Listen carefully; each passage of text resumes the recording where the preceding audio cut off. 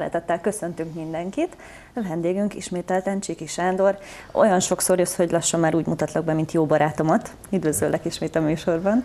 Örülök, hogy itt lehetek. Említetted, hogy lesz egy nemzetközi szakácsverseny. Lesz vagy van? E, január 29-30-án van az a nagy nemzetközi világverseny. Akkor éppen előtte vagyunk. Boküzdor, így van.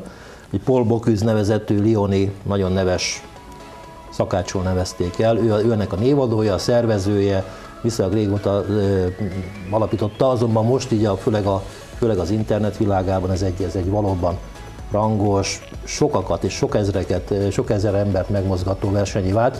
Hát Lyonban január 29-30-a, és a világ, világ országai közül 24 ország vesz ezen ebbe a döntőbe részt. Nyugtass Úgy, meg, hogy mi is ott vagyunk. Igen, hát ezért is kezdtem mondani, mert hogy egyébként Szél Tamás, az Onyxnak, a Michelin csillagos Onyx étteremnek a séfje az, aki, aki Magyarországot képviseli.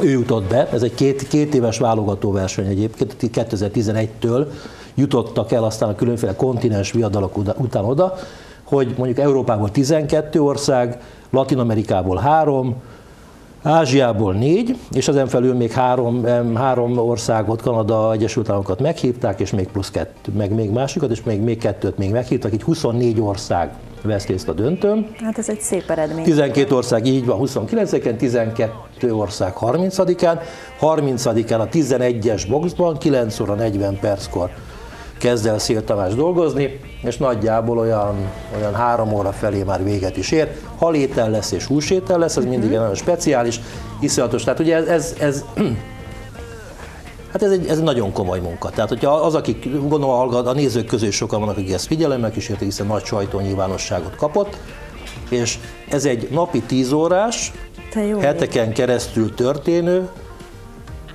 felkészülést, a, a, felkészülést jelent, amikor minden alkalommal. Tehát ez, ez azt jelenti, hogy minden alkalommal x mennyiségű lapossal, mondjuk ennél, x mennyiségű ír bélszín, és mindent előkészít, hogy pontosan időre. Kb.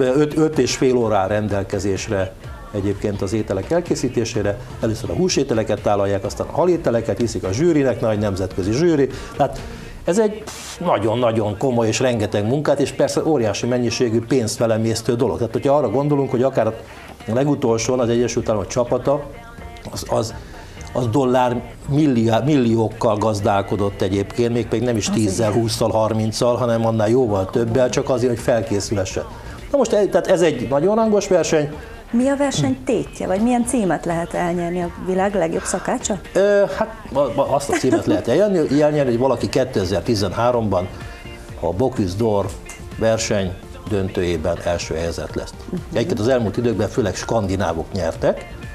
Hát a franciák, érdekes módon Franciaországban zajlik, Lyonban, egy nagy kiállítás keretén között, ez Szírhának nevezett kiállítás keretei között, a franciák azok nem jól szerepeltek az elmúlt években, vagy a skandinávok, a norvégok például nagyon jók, jók voltak most így egymás után többször is, de a Dán konyha is például rettentesen előre tört. Egyébként egy, egy recepi nevezették, egy albán származású séf, most a világ legjobbjának kikiáltott séf többek között. Tehát van ez a verseny, Magyarország ott van, óriási szurkolatábor ment egyébként ki, tehát éttermesek, szakírók, tehát nagyon komoly zászlókkal, óriási hangulata van, Úgyhogy aki, aki még akkor nézi ezt a műsort, amikor lehetősége van részt venni, valami webkameráról közvetítik élőbe, tehát, tehát millió utómódon részt lehet venni ebben a, ebben a nagyszerű eseményben.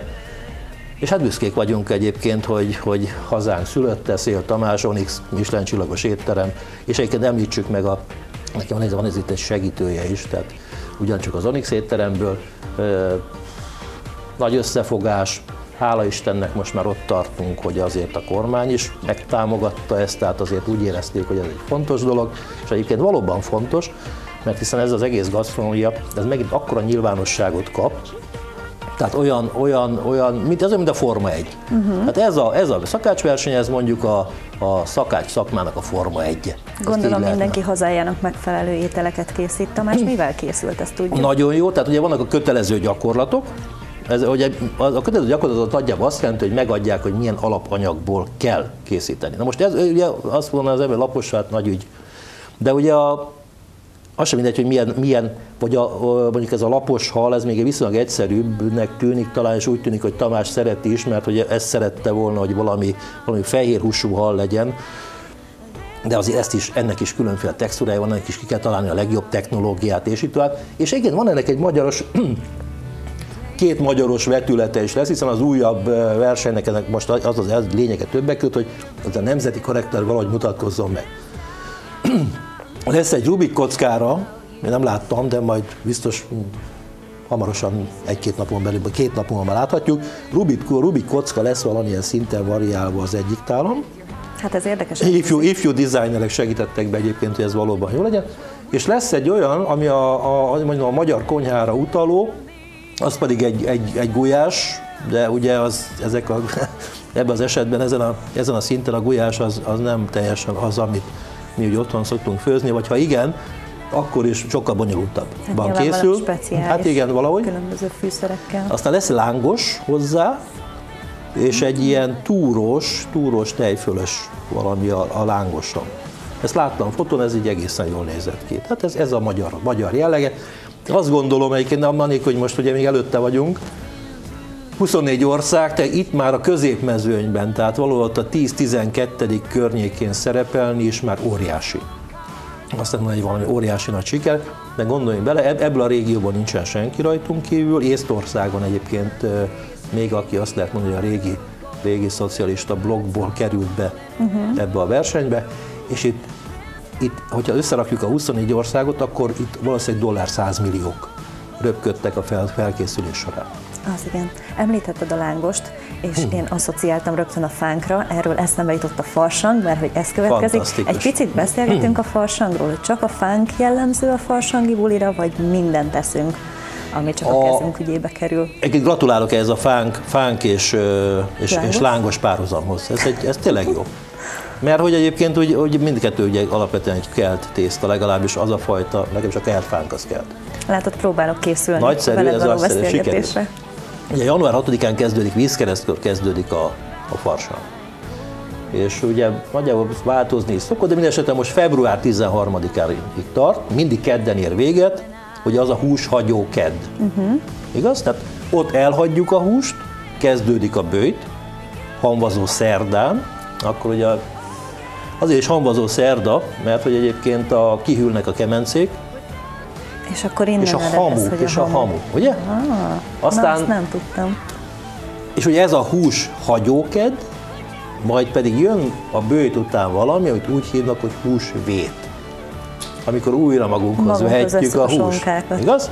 A, a húst, ugye a far, izé, farsang vége, farkas farkincája, úgy nevezik ezt, ezt az utolsó három, három napot, de a, azt a mai utóbbi időben divatba jött ez a bizonyos torkos csütörtök, ami, ami megint arról szólt, ez nem mindenütt volt egyébként jellemző, de, de az ország egyes területein valóban az volt, amikor a húshagyó kedd után, amikor na, még utoljára kimulatták magukat, jött a szerda, amikor már koplalás kezdődött, a hús helyett legfeljebb a halakat lehetett tenni, csak jött a torkos csütörtök, amikor azt mondta a, a furfangos e, nép, fia, hogy hát akkor hát még maradt egy kis hús akkor most mit csináljunk azzal? Ne menjen veszendőbe. És akkor azt mondták, hogy na jó van, oké, akkor most szakítsuk meg ezt, a, ezt a bőti időszakot, és akkor együtt meg. Na most ez volt a torkos csütörtök, amikor gyorsan elpusztítottak mindent, amit egyébként kedden még nem tudtak megenni, majd jött a 40 napos bőlt, bőjt, ami egyébként nem tart 40 napig, de legalábbis bőti napként nem tart 40 napig, erről majd beszélünk abban az időben. A farsangi időszak, ugye ez egy, az egyházi ünnepek, meg úgy általában a, a ezek a fajta ünnepek, mint a farsang és sok minden, azok többek között a, a mezőgazdaság ritmusát követték. Erről már volt korábban is szó, megnézzük azért, hol elkezdtek dolgozni, hol abba hagyták, hol arattak, hol ezt csináltak, hol azt, azt csináltak, de mindig valami kis ünnepot közbe keveredett, és minthogyha egyébként az egyház is respektálta volna ezeket a fajta, hogy mondjam, életritmusbeli dolgokat, karácsony kapcsán erről volt egyébként szó. Egy olyan időszakán vagyunk az évnek, amikor hideg van, elég kinézni az ablakon most. Hideg van, sötét van, nyírkos minden, hó fedi a tájat. Ráadásul ugye a, a történelm során, akár az 1500-1600-as években volt egy kis lehűlés is, amikor még hidegebbek voltak a, a telek, még szörnyebbek, még sötétebbek, ott ültek a kis kuckóba, füstös kis özébe, pláne, hát most a főuraknál se volt egy nagy, nagy csoda, ott is füst, meg egyéb is volt. Most az a helyzet, hogy aztán jó esett nekik tombolniuk. Különféle egyházi szerzők abban az időben roppant módon szidalmazták, egyébként, magyar, magyar nyelven is egyébként roppant módon szidalmazták azt a fajta bujálkodást, azt a fajta mérhetetlen, hát ha volt mit tenni persze, amikor a falánkságot, és mindent, uh-huh. tehát a hét bűnből, meg még ami a tíz parancsodban is vakadt egy-kettő, abból nagyjából mindent úgy igyekeztek azonnal és hamarjában úgy, úgy megvalósítani, mert hogy egyébként nappant utálták ezt a depresszióra hajlamosító hideg időszakot. Most akkor hát a fánk, a fánk, a fánk. Ugye a fánk a németül Krapfen, legalábbis délnémetül, és ugye költődik is hozzá egy klasszikus legenda, ami szerint ugye egy a bécsi hölgy, aki Frau Krapfennek hívták, féle pék volt, és ugye Frau Krapfen valamilyen oknál fogva dühös lett egyébként a műhelyben, de fogott egy darab tésztát, azt elhajította, az pont beleesett egy, egy, egy, egy fazék olajban, ami, ami forró olajban, és akkor azt szépen ott fogta magát, és, és a kell tészta, annak rendje hogy lángosan, nagyon jó volt a párhuzam, az ott szépen e, megdagadt, Hát ez nagyon legendásan ezt csinál. Igen, hát ez nagyon. De mi köze van ennek a tél búcsúztatásához, meg a farsanghoz? Miért kötődik ehhez? Hát ezt most tudnom kellene, hogy Isten igaz, de nagyon frappánsan mondani, hogy ez, ez, ez, ez hogyan és mind, mind, mind történik, és mind, mind zajlik hozzá. De az biztos, hogy amíg a kis maradék kis lisztecskét összeszedték, még, ja, még lehet, próbáltak. Hogy, az, hogy így a téli szűkös így időszaknak van, a végén már Így van egyébként, és, és a zsír, a zsír az különben is kötődik ez a farsangi időszakhoz, a francia nyelvben is egyébként ott a farsang végén megjelenik, de akár egy, az Egyesült Államokban Saint Louisba, ahol pont a francia hagyományok alapján egy Merdi Gras nevezetű egy ilyen, ilyen, ilyen, ilyen ünnep, amikor amikor mindez előjön. Uh-huh. Megkérhetek, hogy legközelebbre utána nézel ennek, mert én nagyon kíváncsi vagyok. Bocsáss meg, Nem, ez, ez most az én, de ez, ez, ez, ez tényleg, jó, legközelebb azzal hogyan kezdjük. kötődik ez ehhez? Mert biztos, hogy itt is van valami hagyomány, vagy, vagy valamilyen ö, olyan szokás, amiből ez kialakult.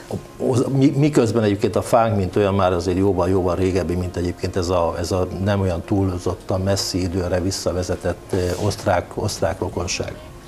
Na, akkor legközelebb várunk vissza, és akkor választ kapunk erre a kérdésünkre is. Köszönjük, Köszönöm hogy itt szépen. voltál. A műsorvezetőt öltöztette a Miss Q.